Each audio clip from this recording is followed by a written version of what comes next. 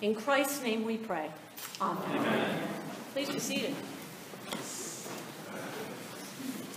So, first of all, Dan, thank you. This morning I want to explore the Old Testament lesson, and it was long, and you read it with such great care that I think we kind of grasped the story. Thank you very much. You know, it raises for me some questions of our orientation as Christians to power, how we understand power and the use of power, both ourselves and the power that we give to others over us. You know, how we use power, influence, and wealth. Do we use what we have been given for ourselves or for others? Now, in the Old Testament lesson, King Ahab simply wants the vineyard that, be, that, that belongs to Naboth. He just wants it for his vegetable garden because it's near his house. And he thinks that he can get what he wants. So he goes to Naboth, and he actually, I don't know, maybe by today's business standards, he makes a pretty good offer, doesn't he? He says, Now, Naboth, I am the king, and I want your land, and so I'll give you another vineyard that's at least as good. And if that isn't good enough, I'd be happy to pay you top dollar for your vineyard. And Naboth says, This is my ancestral land. No thank you, king. And Ahab, of course, goes home and takes to his bed, depressed, right? um, his wife, the ever maligned, in all later literature, Jezebel. When I say Jezebel, it doesn't make you think of someone that's trustworthy, right? Okay, Jezebel. So she comes in and says, Oh, my dear, why are you, you know, what are you suffering from? And he says, basically, I'm depressed. And she says, Why? And he said, Well, I'm depressed because I want that land right next to mine that belongs to Naboth. And he said that he's not going to give it to me. So she says, Oh, honey, you just sort of, you know, you stay here and recover, and I'll take care of things. So, of course, she goes to his desk and she uses his seal, which would be the king's seal, and no one knows that it's her handwriting and not the king's. And she unbelievably sends this message from Ahab to the local authorities who are quite willing to cooperate with her in her plot you know, the plot, we heard it twice because they did exactly as they were instructed in this letter from Jezebel that they thought was from Ahab. They brought Naboth to a celebration, put him at the head table, found, don't you love this word, two scoundrels to come and sit on either side of him who were ready at the, the appointed moment to accuse him of having offended God and the king, and then suggesting that the punishment for such was to take him out and stone him to death, which they did. So then Jezebel can go back to Ahab, who is still depressed and reclining on his bed, and say, You know, that vineyard you wanted, just get on up now. And, you know, we don't have Naboth in the way, so just head on over there and claim it. So what, what happens, though, is that God interrupts this little plot, right?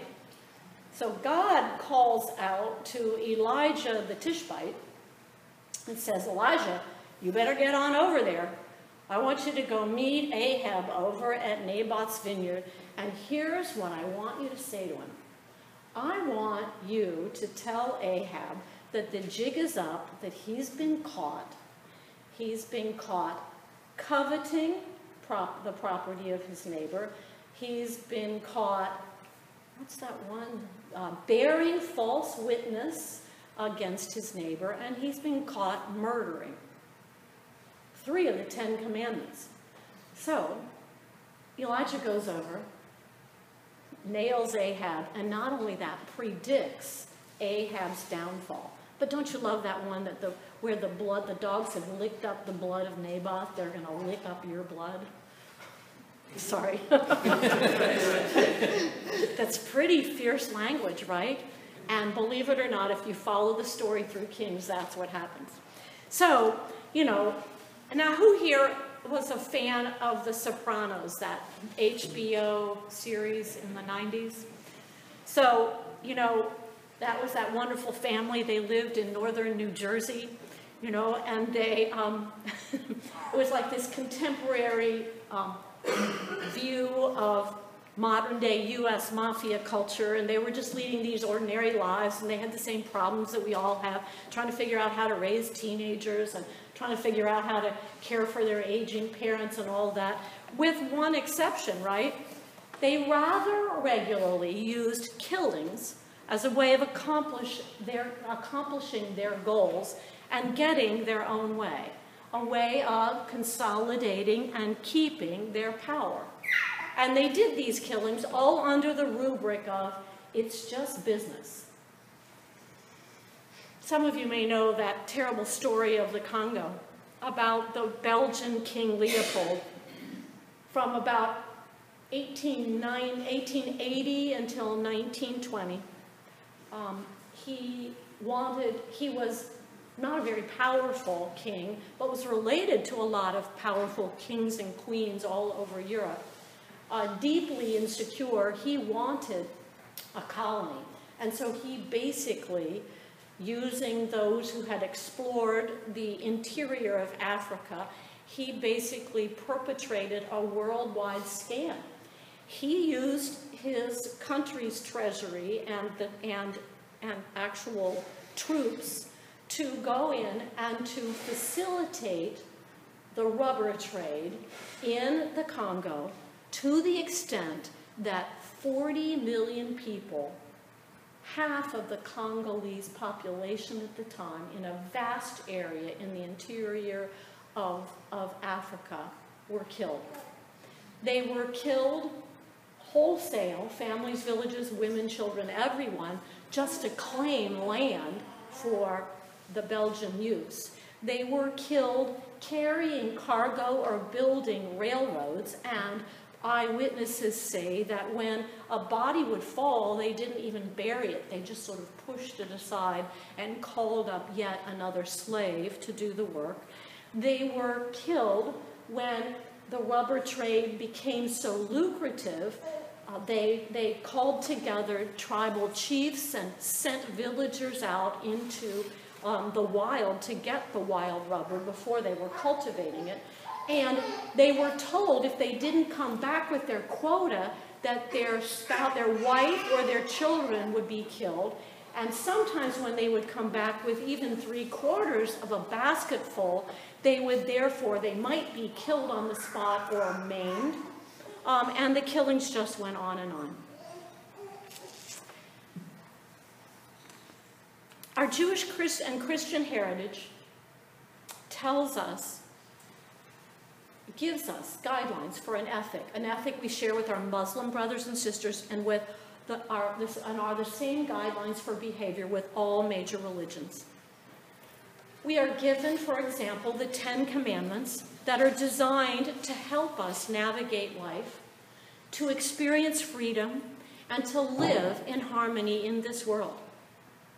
We are called upon to examine our own hearts and to make decisions that come from an ethic that we are taught. Our ethics ask us to consider first the other, to serve others and not ourselves, to be willing to sacrifice for others, and if we take Jesus seriously at all, as an example, to be willing to die for another. Some of you may have heard this joke before, but it's worth repeating. There was this minister who noticed little Alex in the narthex of the church, and he was staring at this large plaque that hung in the narthex, and he st stood there and stared for a long time. And so the minister saw him there, so came up next to him and said, Hi, Alex. And he looked up and he said, Hi, how are you? And he said, the minister said, Fine. And Alex said, What's that? And this plaque had all these names listed there, and there was a, an American flag kind of sticking out on both sides of the, the plaque. And the minister said, Gosh, Alex, it's the memorial to all the young men and women who died in the service. And Alex's eyes got really big, and he said, Which one, the 8 or the 10 o'clock?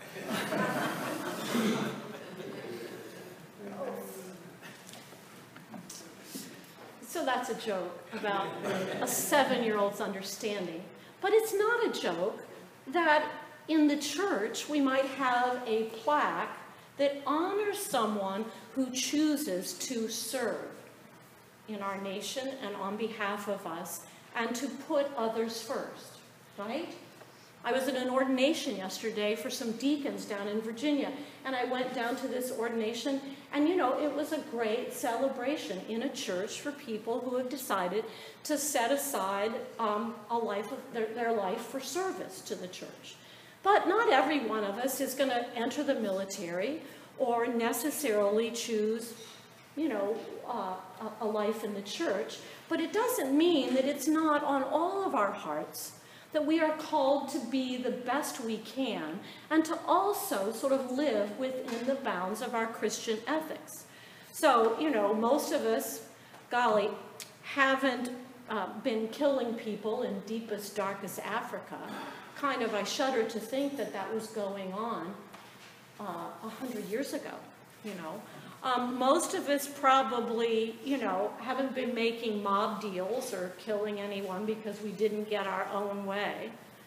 But all of us participate in this life as people of some privilege, of some power and some wealth, if we're honest about who we are, even if it's just by virtue of being citizens of the most powerful country in the world we really do negotiate our lives from a position of power. And so, for most of us, um, it, we, it's incumbent upon us to really think about how we deal with not only our own hearts, but others in the context of the power that we have been given. So it makes me wonder what this Old Testament story tells us about that. And here's what I think I think it tells us that any day, with our power, influence, and money, and given the possibility of a tricky spouse like Jezebel, we could be in trouble for selling our own souls any day. It tells us that more often than not, we're not really Naboth in the story. We're not the ones who are being put upon. But we're the Ahab and Jezebels of the story. We're the ones with the power and influence, and therefore in deep need of the voices like Elijah's and other prophets. And we need them to be among us so that we don't have to wait until we've now, till the dogs want to lick up our blood because we've made so many mistakes. We need to keep the voices of the prophets in our communities so that they, we can be challenged.